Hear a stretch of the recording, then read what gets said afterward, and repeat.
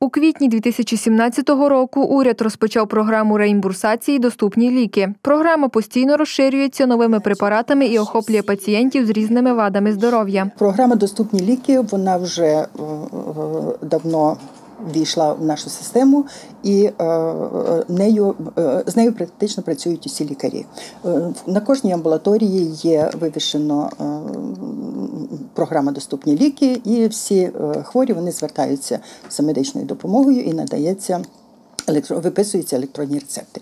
По електронних рецептах е, людина може е, не обов'язково зразу звертатися е, до лікаря, можна просто пер- перетелефонувати, і на телефон приходить рецепт.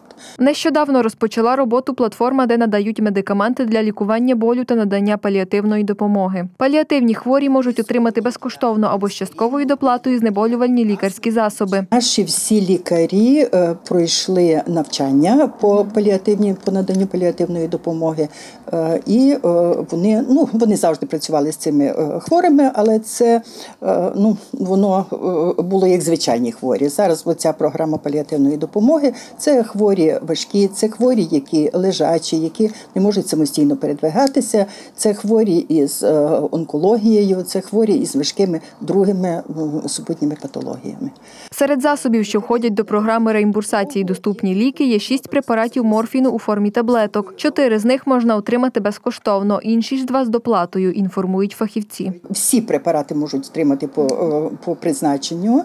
По-перше, по-друге, це е, наркотичні препарати. Наркотичні препарати теж виписуються, виписуються по електронному рецепту після рекомендації е, відповідного спеціаліста, тобто онколога.